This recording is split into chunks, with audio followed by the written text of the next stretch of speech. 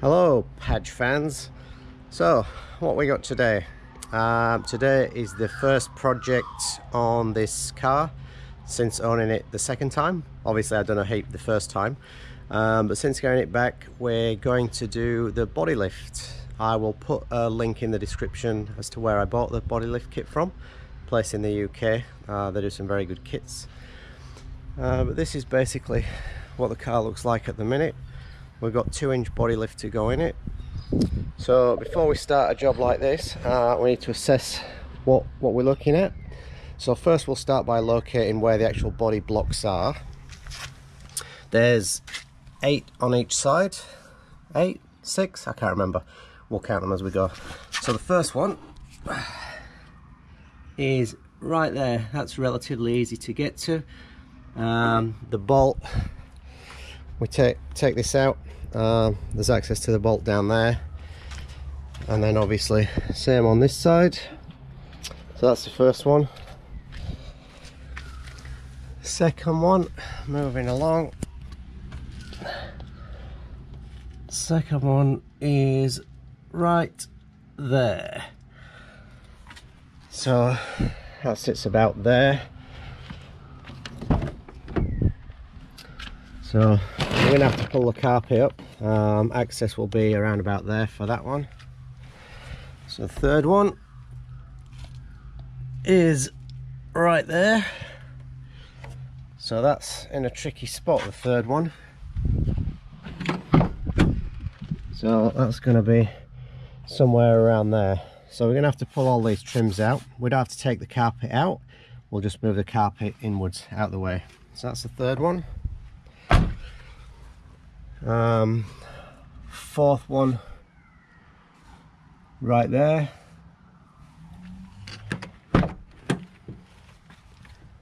So that's actually easy to get to. There's actually a cut out here when you take the carpet. You just get that one down there.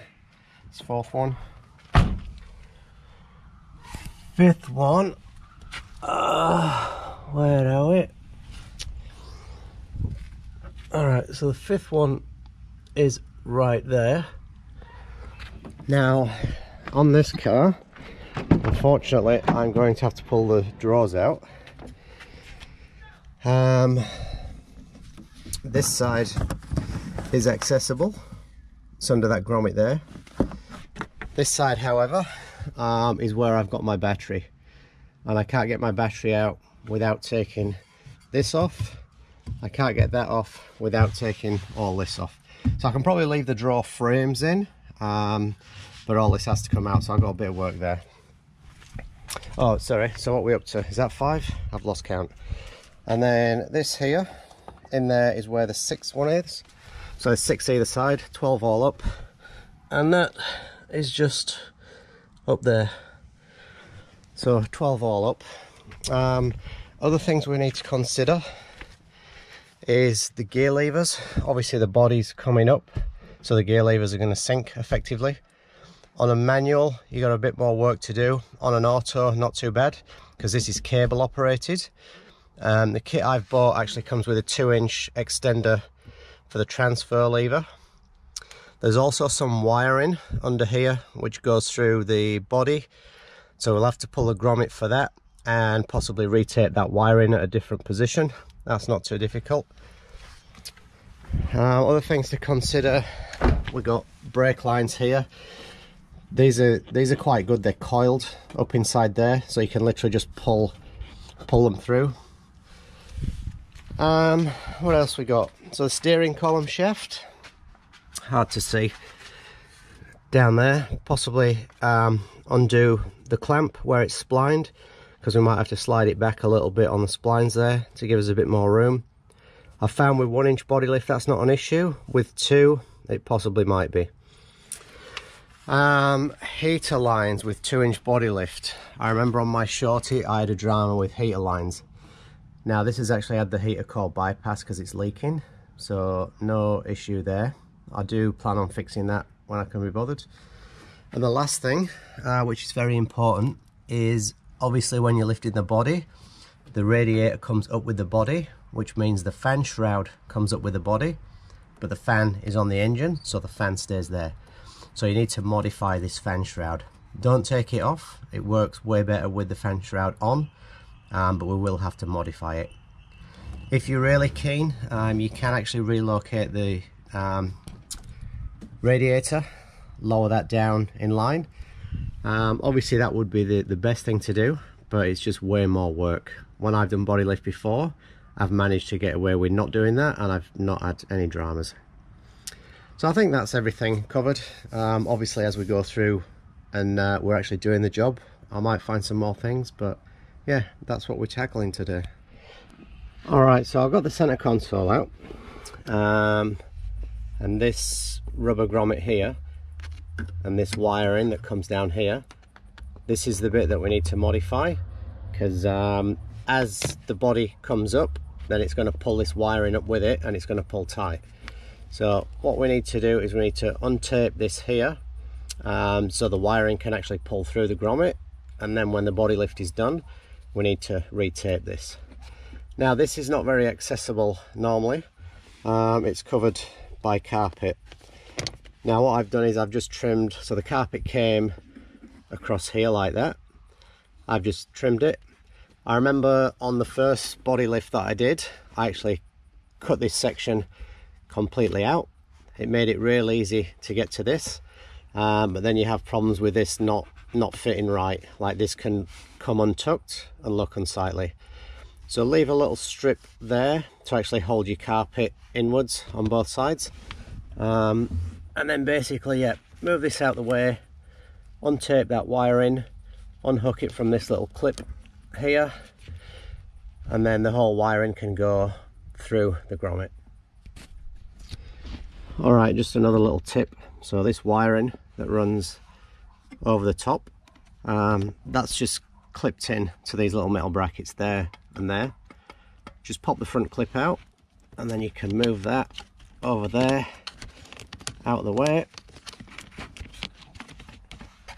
and heaps of room to work there now so we're just going to untape that. All right so just to make this a bit easier um, unplug the plug right there pop the grommet out take the tape off and then you can literally just pull that upwards. I, I can't do that because I've got the camera in one hand. But basically yeah, what we're going to do is we're going to slide that up. Um, there is a bit of play there. Um, so if you're doing say a two inch body lift you probably only need to move that an inch. If you're doing a one inch body lift I reckon you'll get away without without doing this. Um, but it's little little handy tips that you can know. So I'm just going to slide that up not tape it up yet until the car's all back together. All right we'll address the transfer lever as well while we're here. Um, the manual gearbox is not such an issue, but the transfer, obviously on the manual, the transfer's on that side. Um, the problem you have when you put body lift is obviously this bit here is coming higher. And what can happen is where your center console is, you cannot get two-wheel drive. So sometimes you have to notch the console out. Um, we'll see how we go on this one. But what I am going to do is I'm going to pull this um, rubber boot out, lift it out of the way, just so that once we've done the body lift, we can address exactly what we need to do here. Alright, so on my NL automatic, I'm actually quite pleased that the top of the transfer box is incredibly close to the body. Um, so once we've lifted this body two inches, we may not have an issue with um, selecting two-wheel drive. But we'll see when we get it all back together. Alright, so I've gained access to all of them now. So rubber grommet out of here. Um, there's one in there. Rubber grommet out of here. One in there, that's two. Third one is here. And seeing all this wiring can be daunting. Basically just pull the plastic out and then the wiring is just tucked out of the way. There's one. Next one under there.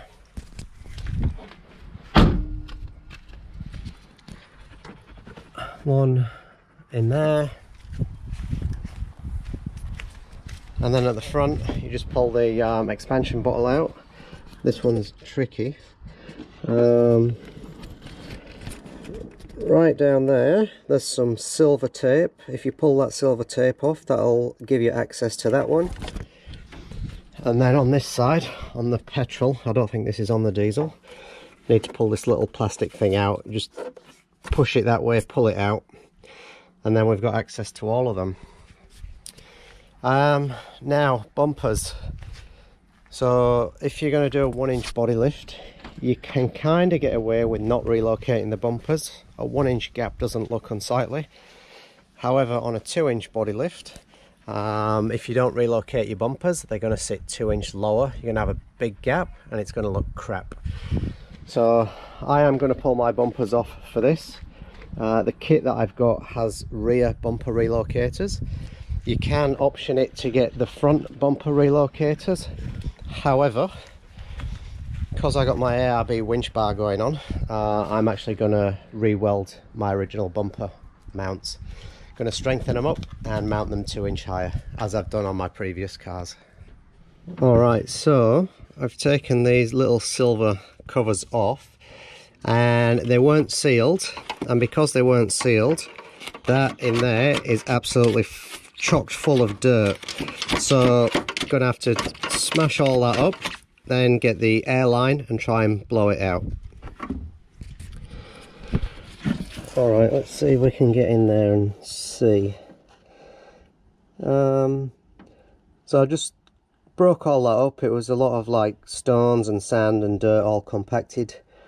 I've just gone in there with the air blower, uh, blown all the crap out, and now that's accessible. So the bolts that are in there have like a little, um, I don't know how to explain it, they have like a little bracket coming off the side of them, they're not a bolt as such, they're the ones where they'll turn so far and then wedge up against the body and either tighten or untighten.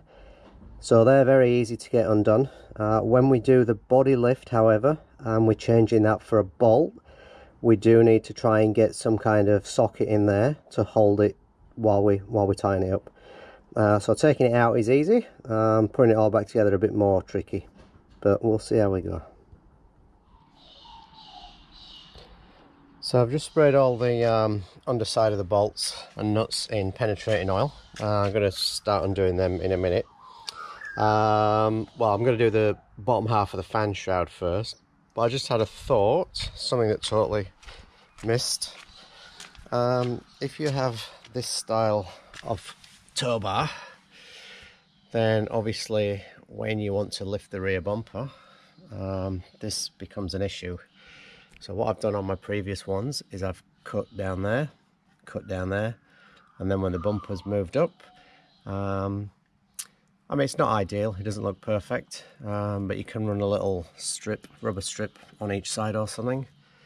But yeah, obviously once the bumper comes up, that becomes an issue there. So that's something I'll tackle when I um, relocate this bumper. Alright, so we're going to take this lower section of the fan shroud out. Um, sometimes you can get away with just doing that. Looking at this fan shroud, I think that may be enough. On the diesel one, um, I did have to trim a little bit of this back section um, so I think this just slides out from memory it's been a while since I've done one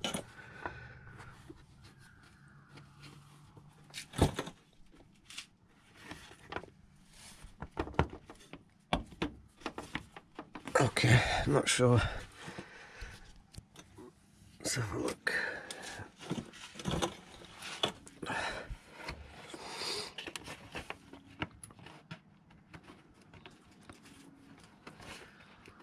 Alright, I think it might have like a barb type clip in there. Um, I'm not going to be able to do this with one hand, so I'm going to put the camera down and pull out. Alright, so these ends are just a push fit. So basically how it works is that pushes up at one side, that pushes up at the other side, and then it's retained by one clip there. Um, that just sits in and one clip there so basically what you do is unclip that unclip that and then the whole thing can just pull out. What now? Mr. Popular. No, just kidding. It was just an alarm. Alright, so now that the lower section's off, you can see that as this bit goes upwards, it will actually clear the fan. Um, with that in, obviously it would be hard up against the fan, and you'd either damage the fan or just smash the crap out of this. So looking at that, I think once that's raised up two inches, we should have no dramas. If for whatever reason the fan happens to just catch, because this this is not a great fit at the bottom, if it happens to catch here, what I'll do is I'll just trim trim around this lip. Alright, so I've just gone round to start taking all the nuts off the bottom. Um, and yeah, it's been a while since I've done one of these. So the type of bolt that I was trying to describe before see it's got like the little bracket on. It's hard to see there's no light in there. Um, these ones under the grommets here because they're easily accessible they're actually not that style. They're just a normal bolt.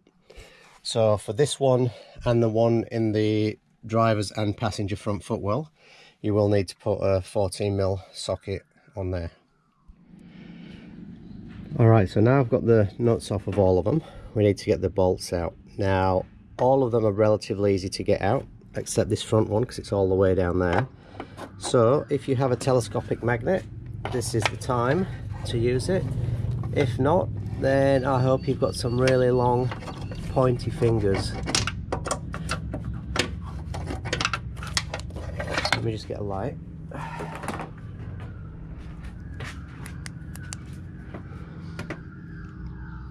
So there's all the dirt in there still but what we're probably going to have to do in order to get that out is rotate it around um, in order to get the the bolt out because it's got the little arm the little bracket on there. So again I'm probably not going to be able to film this so I'm just going to put the camera down and see if I can get that out. Alright so I've just come to remove this bolt um, proving very tricky. I don't remember this being an issue on the last one. Um, I'm thinking this may have been put in 180 because it's going up and it's just hitting something. It needs to be spun round. So what I've done is I took this rubber out and then I took the metal sleeve out that sits between the rubbers and that's given me a heap more movement but it still won't come out. So I think what I'm going to have to do here is I'm going to have to wait till the body's actually jacked up, ready to put the block in, and then try and negotiate that out. Because uh, like I say, the ones I've done before have just pushed straight up, but this one the arm's facing backwards and hitting against the chassis. I think it's meant to be facing forwards. So Mitsubishi, you may have stuffed up there. See what the other side's like. Alright, so I'm going to show you a little trick for this back one. So I've taken the bottom rubber off to give me a bit more movement. Um, and what you need to do is if you try and get this up through the hole, not going to happen. So you need to put it up inside the body.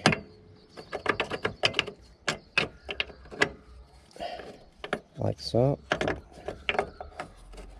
And then you can work it out out through the hole like so. So I've just loosened off the steering column shaft bolt down there. Um, that's an easy thing to forget about when you've put everything back together. So I'm a note writer, I always write myself notes to remind myself. So we're at the point now, which is the, not the trickiest, but the scariest point, I guess. It's like cutting a hole in your guard when you're fitting a snorkel. Uh, we need to actually jack the body up now in order to get the blocks in. Now, I probably shouldn't have taken the bolts all out because if the body happens to shift sideways, then, well, we're stuffed because we're not going to line it up.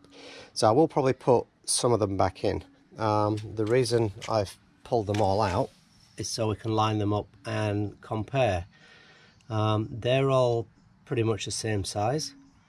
For some reason the rear one is pointed.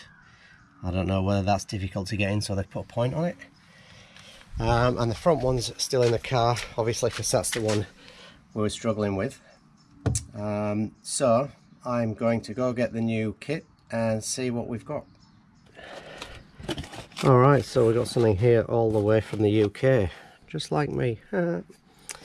so, we've got some bumper relocation plates and bolts. Um, I said the front was an option. I was wrong. You get the front automatically. It's the um, gear lever and transfer lever bits that are optional. So, got some spares. Set of bolts transfer lever extender and 12 body blocks. Alright, so you can see the difference in length of the bolt, obviously two inch longer. Um, so what I'll probably do is I'll probably sit all these in the holes where I took them ones from. Um, and then obviously as I go around and put the blocks in, I'll just pull them out one at a time, uh, put the block in, put them back in that way we won't get any shift of the body because um, it'll still have all the bolts in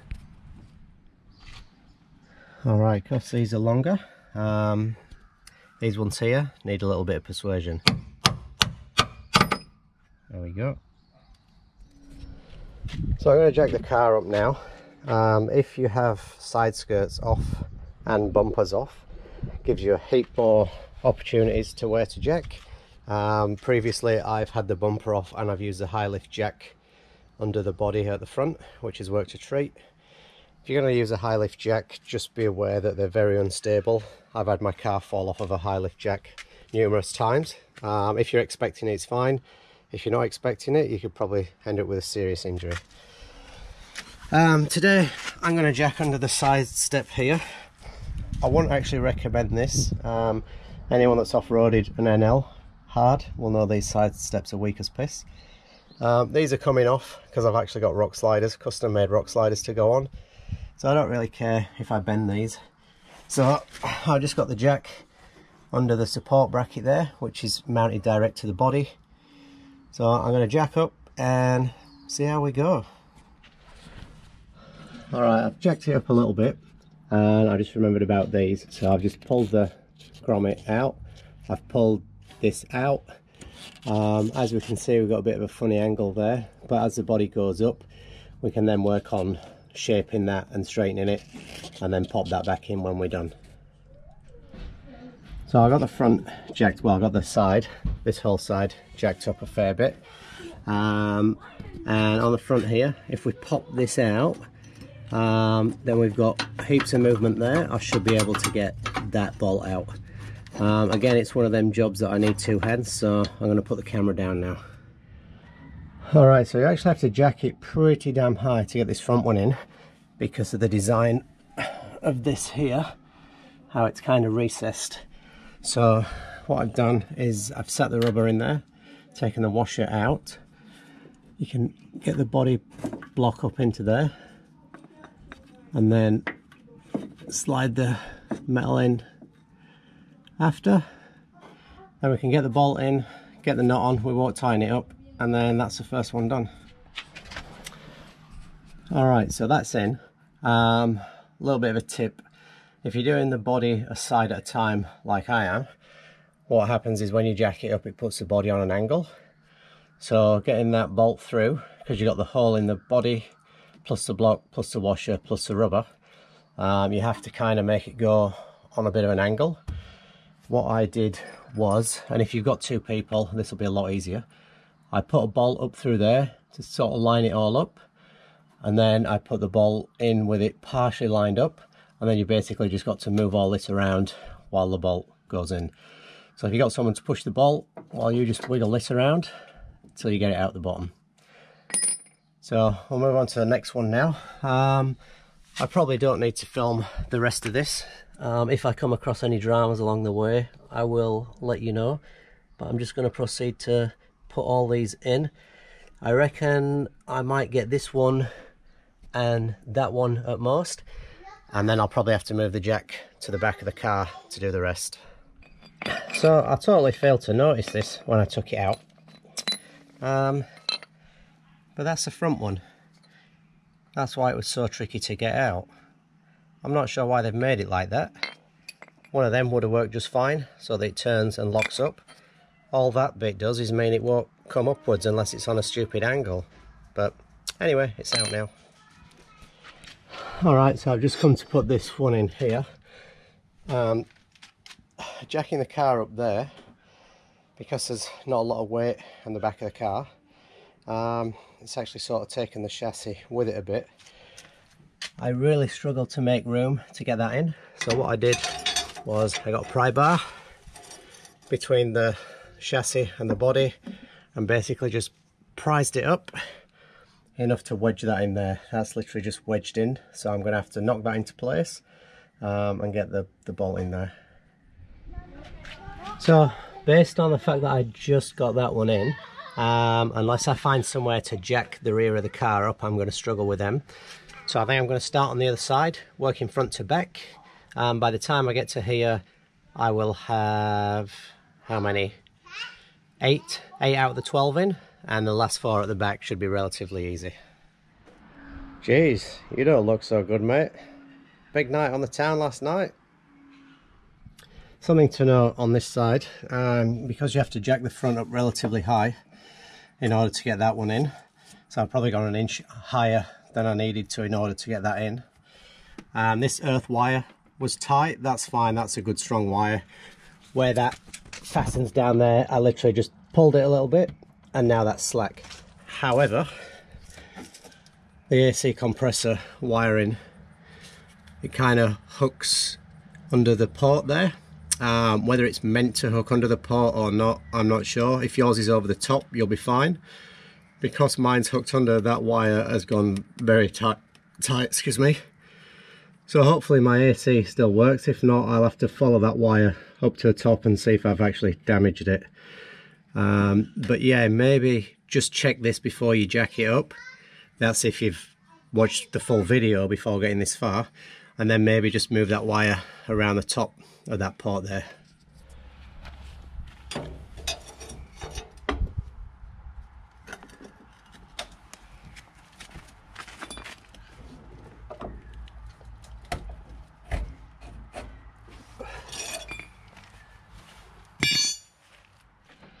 all right i was just working out where i was going to jack the back up.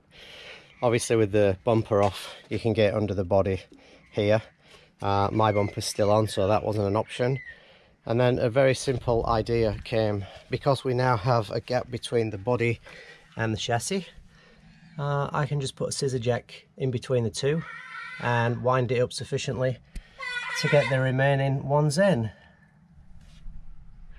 all right so as i've got to here uh, i've just noticed another thing that i've actually missed. Under here fuel filler. Now obviously the fuel tanks stayed where it is but the body has gone up. So that is incredibly tight now. Now this is just held in place. I'm to put the camera down. This is just held in place oh that's tight with a 10 mil bracket sorry, a, a bracket held with a 10 mil bolt. So,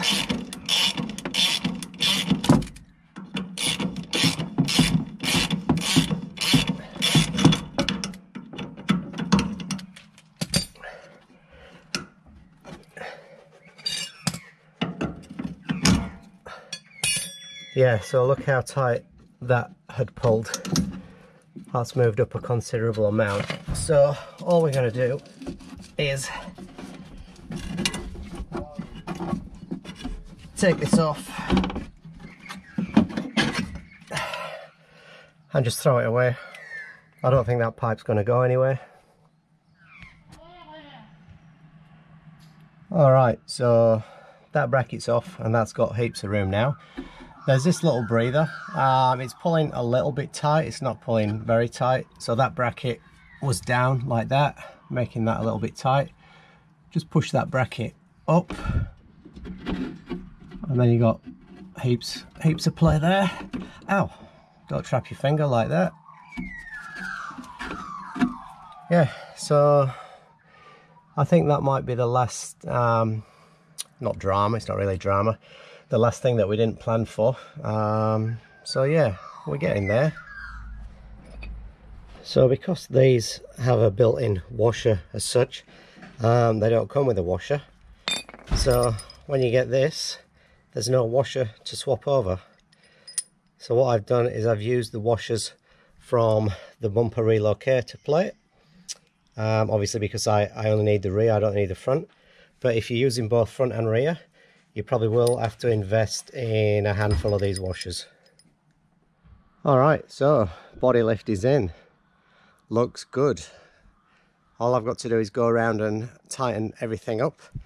Um, I will show you a couple of things that we spoke about before. So, bumper, obviously not relocated. I mean, that's the wrong bumper for the car anyway. That's an NH bumper. Um, looks even more garbage than it did before. Good for the transmission cooler. Plenty of room there. But, yeah, that's that would look rubbish with a stock bumper on. Um, and the rear looks even worse because it has the, the lines on the body um, that go in line with the line in the bumpers. Just looks stupid now. And of course you've got the big gap along the back there. Not nice at all. Some people are happy to, to drive around like that. Um, I mean, it'll work exactly the same as it will higher, because um, obviously the tow bar is not going to come any higher. But I like it to look nice, even though it's an off-road car and it gets bashed around. I like to make it as nice as we can. So I'll probably save that for another video, doing the bumpers, um, doing the gear, uh, transfer lever, gear levers, etc. So I'll probably wrap that up there. Um, but yeah, very happy with how that sits. Ready to put some 35s on it. So just to finish up, I'm just going to straighten these up, uh, pop the rubber back in. I'm going to tighten the steering column shaft up. Um, I did actually put a screwdriver in there to open, sorry, in there to open that up a bit because that was stuck solid with dirt. Um, it's probably moved back 2 mil, so I, I, reckon you don't need to do that. Um, you can do it if you want to be on the safe side. It's literally two minutes of a job to undo that wedge a screwdriver in there to open it up a bit and then just nip it back down. But like I say I've done two inch body lift and that's probably moved two mil. So definitely not needed on one inch. Two inch I'll leave that up to you. So like I say we'll sort the brake lines we'll tighten all these nuts up and then we'll call that it for this video. Uh, any questions just pop them in the comments. But yeah I do advise watching the whole video first before tackling it and then obviously use the video as a reference while you're halfway through it. Thanks guys, take care. Alright, so one last thing. I keep trying to end this video, but because the engine is lower and I'm not lowering the radiator, um, the top hose is touching on this engine cover. Now over time that could rub through and damage the hose. So I can either take this off and get rid of it altogether or let's keep it nice and neat shall we? And let's just notch a section out of there just to stop that from rubbing. Um, everything else in the engine bay was fine. Obviously I've got that aircon uh, wire to sort. And the heater hoses like I say they're bypassed and cable tied out the way so not an issue. All right look at that. Looks like a factory job um, so that's that. Um, one last thing, I keep saying one last thing, but I keep finding more things. Uh, so the fan is just catching. See if we can get a shot. if I can get the camera in there. Literally just catching down there. So I'm just going to take the corner off of that. Uh, we don't need to video that. I'm basically just going to get a Stanley knife and just chop the corner off of that. And then we're good to go. Alright, Mother Nature has decided that's all we're doing today. Uh, so I'm going to wrap this up and I will do a part two with all the additional bits on there, all the little fiddly bits.